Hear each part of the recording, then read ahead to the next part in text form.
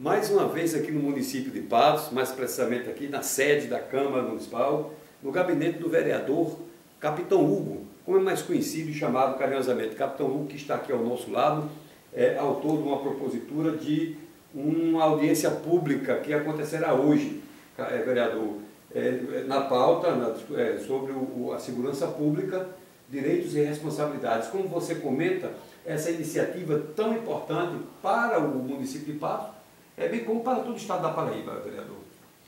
Olá, Roberto, e a todos os ouvintes do Portal Imprensa. É uma preocupação imensa.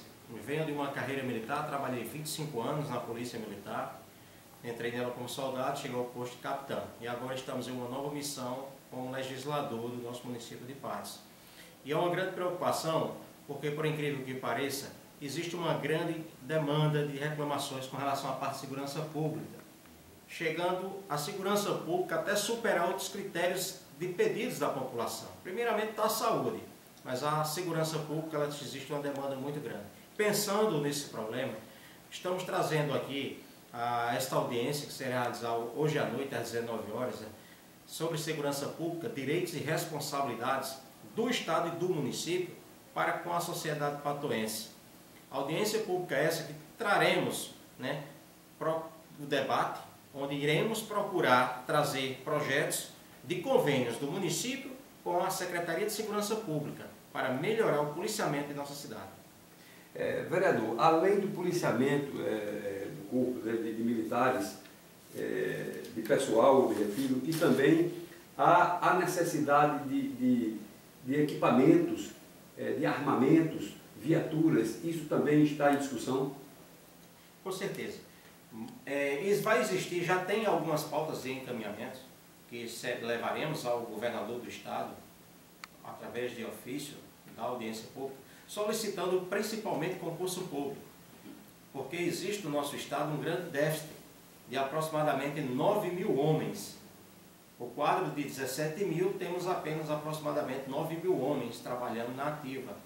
É, paridade salarial dos inativos com os da atividade, risco de vida e o plano de cargos e carreiras. Esses assuntos serão apenas colocados na pauta porque já foi debatido e muito nessa casa e em várias outras situações.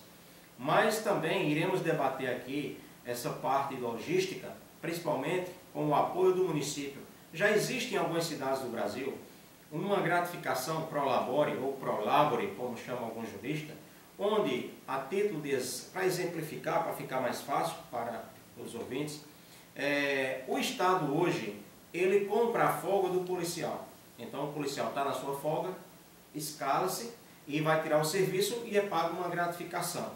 E existem algumas cidades no Brasil que o município pode contribuir também nessa parte. Venhamos a imaginar que uma parte orçamentária seja destinada para que o município também contribua com a segurança pública. A título aqui de nossa cidade, nós temos um bairro muito afastado, conhecido como o Conjunto Itatiunga, recém-formado, saída para Santa Terezinha.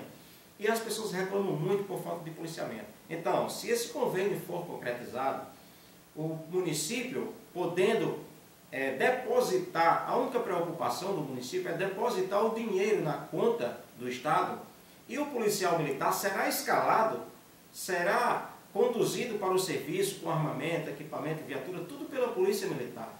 A, o município vai apenas se preocupar em fazer o depósito após firmar o convênio, onde poderá designar no convênio que esse policiamento será específico no conjunto Itatiunga, para auxiliar na segurança pública daquela comunidade tão carente de policiamento. Então, se nós conseguirmos realizar esse convênio, mostrarmos a legalidade, então será bem-vindo à nossa sociedade, que cada vez mais está carente pelo déficit e falta de policiamento nas ruas da nossa cidade. É, capitão Hugo, é, com relação a esse Prolabore, é, esse valor que a prefeitura, o município poderá contribuir, já foi pré-determinado é, em que dotação existe já, é, por onde será é, esses recursos serão efetuados? Os valores poderão ser especificadamente concretizados no, dentro do contrato, do convênio realizado. Existem cidades brasileiras que pagam é, um terço do salário mínimo, existem cidades que especificam o valor de 600 reais. A Prefeitura de Niterói pagou de uma só vez R$ 3.500 de Prolabore aos policiais da cidade de Niterói.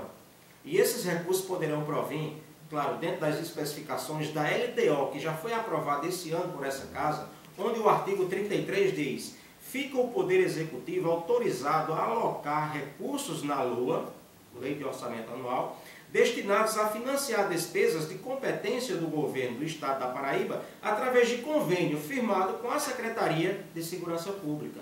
Então poderemos implementar agora na L, na, isso aqui na, na LDO, né? Então na LOA poderá ser implementado também para quê? Para que venhamos a realmente oficializar e do, ficar documentado esse convênio para que seja regulamentado no nosso município. É, vereador é, Capitão Hugo, é, nós sabemos que a segurança pública é de interesse coletivo né, de toda a sociedade.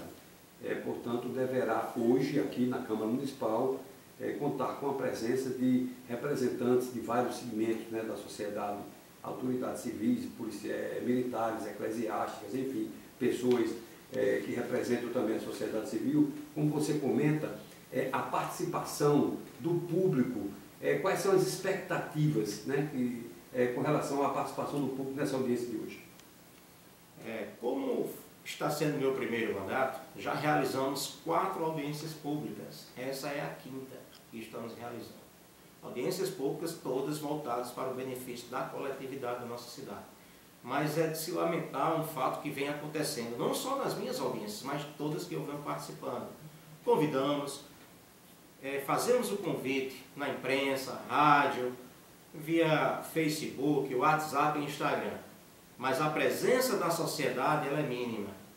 Apenas às autoridades que a gente oficializa, que faz parte realmente, que tem uma participação direta da audiência pública, eles comparecem mas a sociedade em si, a população, outras, outras instituições estão deixando a desejar. A gente sabe, as pessoas reclamam muito por todos os assuntos que existem na nossa cidade. Mas na hora de sentar na casa do Juvenal Lúcio, na Câmara de Vereadores, para debater, dar sua opinião, está existindo essa falha. Portanto, eu convoco toda a sociedade, toda a população, todas as instituições, sociedade organizada, a que venham a participar porque os órgãos responsáveis pela segurança pública já estão convidados.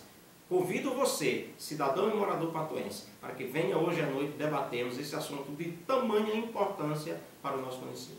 É, é lembrando também que a, a, segurança pública, como eu falei há pouco, como você bem explicou, bem é, explanou, é de interesse coletivo.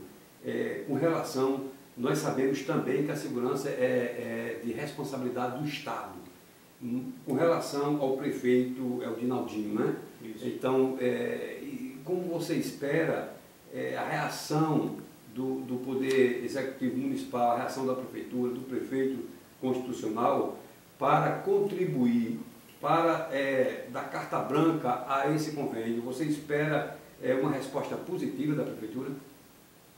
Com certeza. E explico mais uma vez que todas as audiências públicas que venham a fazer nessa casa, antes procuro todos os órgãos, explico o que vai ser. E já tive uma conversa com o prefeito e ele se demonstrou bastante satisfeito pela essa audiência pública, porque ele tem conhecimento de que a população está pedindo segurança, apesar das responsabilidades ser maior da parte do Estado, mas que o município, o gestor, está comprometido em colaborar com a segurança da cidade. E com certeza, se depois de todos os debates confirmarmos a legalidade, que é constitucional, que pode ser feito como foi feito em outras cidades, com certeza ele irá abraçar a causa.